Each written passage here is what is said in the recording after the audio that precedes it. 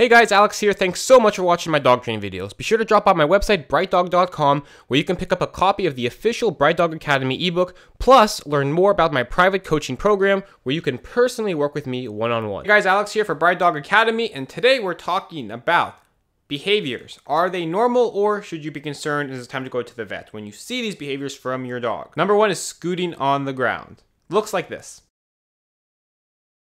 So if you see your dog do this, and he just does it once, you know, once in a great while, probably not a big deal. But if you're seeing this behavior happen a lot, right? I mean, multiple times a day, it's time to go to the vet. When your dog is scooting like this, usually means there's a problem uh, in the his butt area. Uh, sometimes it could be a tapeworm. Mo most often, it's because your dog's anal glands are impacted. The good news is that can be treated uh, really easily. The, you bring your dog in, the vet squeezes their butt and bunch of crap pops out and it smells and looks disgusting, but it pushes out the anal glands um, and then they have some relief. And if your dog is anything like my dog Max and anal gland issues become, you know, a, a, big problem because they can get infected, or you're seeing that you're constantly having to have the have them expressed. Um, there's a surgery to remove them, and that's unfortunately what I had to do with Max. So scooting, it's not a normal behavior, and that is something that you should go to your vet if you see your dog doing a lot of it. Okay, the second behavior is humping,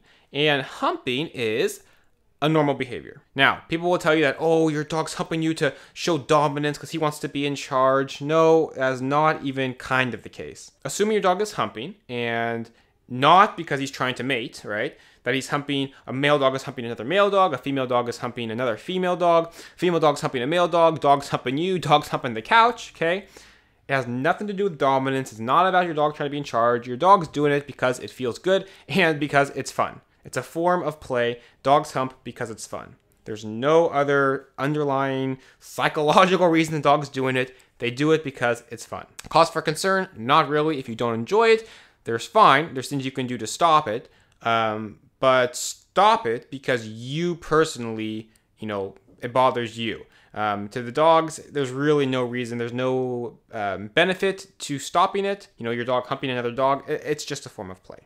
All right, number three, eating grass. So, if your dog eats a small amount of grass every once in a while, not really a big deal. If you start noticing your dog eating moderate to a lot of grass constantly, then it's time to go to the vet. Now, one thing to be cautious of is if you're letting your dog eat grass, I don't I try to at all costs avoid letting my dog eat grass because I don't know what's on it, right? And I'm talking about stranger's grass.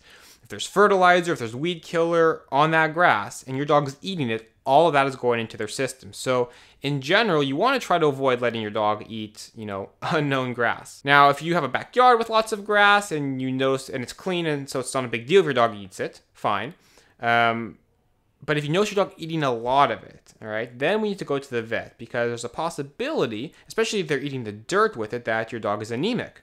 So eating grass, kind of weight. Small amounts every once in a while, not a big deal. But if you notice that your dog's eating grass kind of routinely, then we want to go to the vet to make sure that everything's okay with their stomach. Last behavior we're going to talk about is drooling. Is that normal? The answer to this one is yes and no. If you're holding your dog's food bowl over them or you're grilling a steak on the barbecue and your dog's staring up at you and drool's pouring out of his mouth, totally normal. With Max, the second I get his food bowl, literally within three seconds, there's just a pile of drool underneath him because it just happens automatically. Now, if your dog is asleep and he's every time he lays down, while he's sleeping, drool just starts coming out of his mouth, not normal. If your dog's just walking around with no trigger and drool is just coming out of his mouth, not normal.